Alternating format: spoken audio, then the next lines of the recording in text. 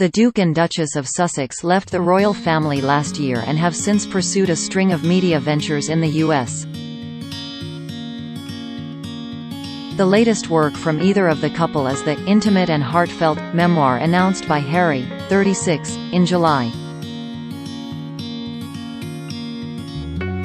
Slated for a tentative release in late 2022, the Duke's autobiography will be published by Penguin Random House UK, with all proceeds to be donated to charity.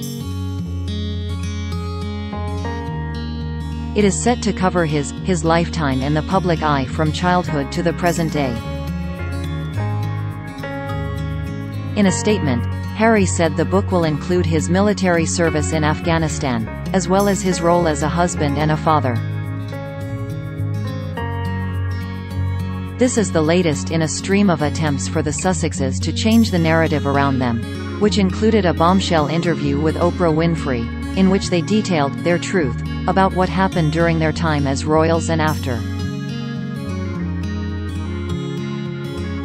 Author and publisher Andrew Lownie claimed Harry's memoir as the latest example of the Sussexes attempting to define their public image.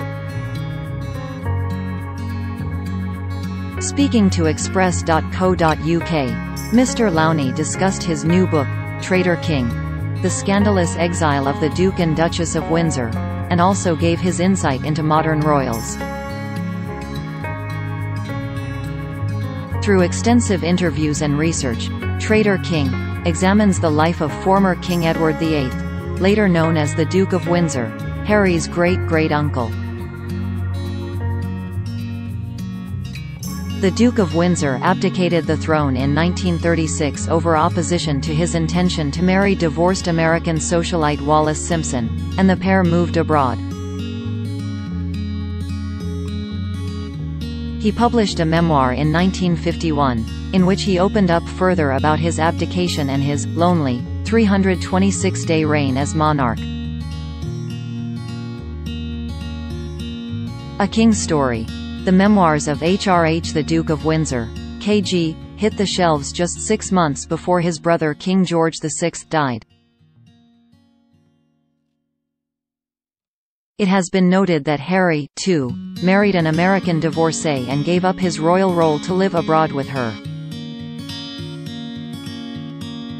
Now, he has also opted to write a memoir in which he will reveal what it was really like to grow up behind palace walls.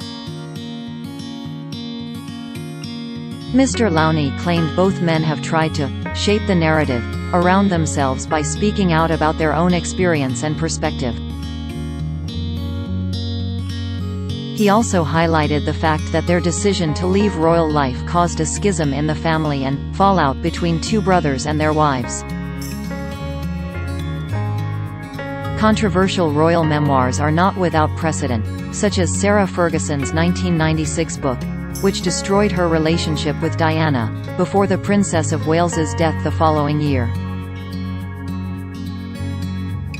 Despite promising Diana she would not be mentioned, Fergie including an embarrassing passage about her borrowing her former friend's shoes, which she claimed gave her verrucas. However, Harry's memoir, like the Duke of Windsor's, may provoke even greater public interest than Fergie's given his proximity to the crown. While Fergie, Prince Andrew's ex-wife, was never destined to become queen, Harry has always been high up in the royal line of succession. The Duke of Sussex spent a large part of his life third in line to the throne until the birth of his brother Prince William's children.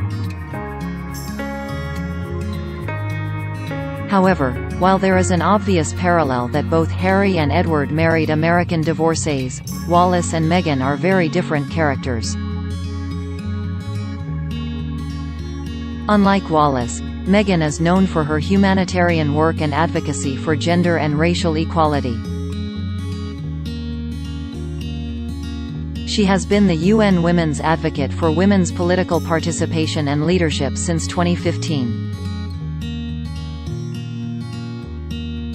She has also worked to empower women and girls in developing countries through infrastructure and education initiatives in countries such as Rwanda. Both Harry and Meghan have remained dedicated to their charitable endeavors after leaving royal life, setting up their non-profit organization Archewell Foundation. Traitor King is available via Bonnier Books. Related articles Diana and Freddie Mercury acted like naughty school children Queen's private secretary on Jubilee. You must not kill, Monarch Prince William school threat. I will send my knights to kill you.